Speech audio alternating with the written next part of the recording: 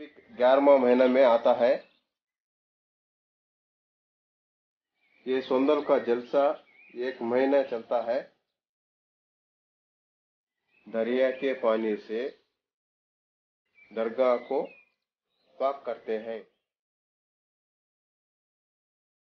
यहाँ मुसलमान और हिंदू मिलकर ये सोंदल का जलसा मनाते हैं। सोंदल में नागुर से फकीरा आकर जरब करते हैं। सुंदल में दो हाथी, छह घोड़े,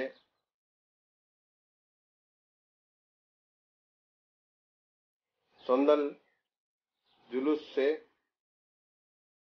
पुरानी येरवाड़ी के गलियों से गुजरता हुआ दरगाह तक आता है।